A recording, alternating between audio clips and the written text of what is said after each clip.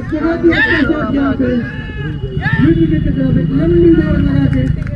fielder ने गेंद को रोका पर दो रन लेने में कामयाब